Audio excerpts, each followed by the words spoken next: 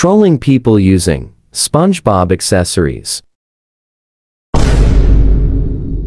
Yup, that's nice. But first they need to see it.